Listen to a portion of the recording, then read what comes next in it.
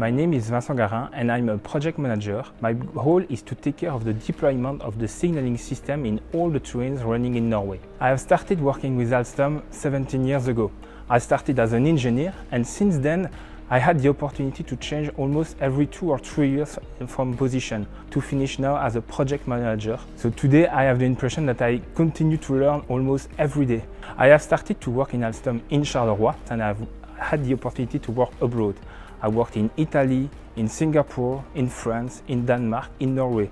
I learned a lot in Alstom, almost every day, either by interacting with my own people, people from my project, my peers with from different backgrounds, or also internally through the different learning capabilities that Alstom propose, uh, either through Alstom University or for more academic uh, training that are organized within the company.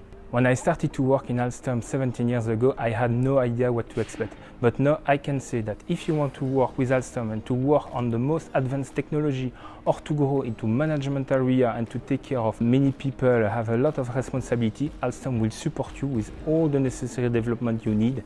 So join Alstom.